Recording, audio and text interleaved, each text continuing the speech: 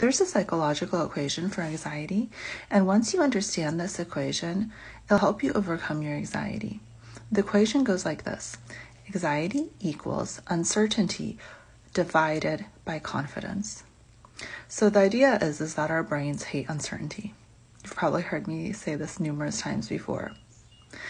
And when we're faced with uncertainty, we tend to get anxious. It's a normal psychological response. But if we have confidence in our ability to overcome this uncertainty, then we will be less anxious. For example, I was recently in Dubai, and when I was there, the airline lost my luggage. My luggage just didn't show up. Normally, this would make me really anxious because I don't like that level of uncertainty.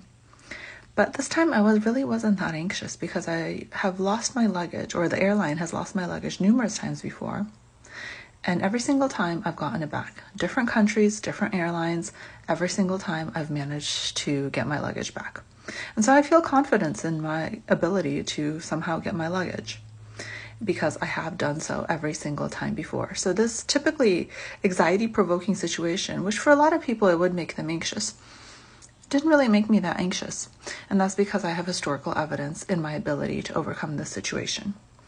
So, in order to work our anxiety, we can work on two things. We can work on our confidence, or my uh, preference is actually to work on expanding our tolerance for uncertainty.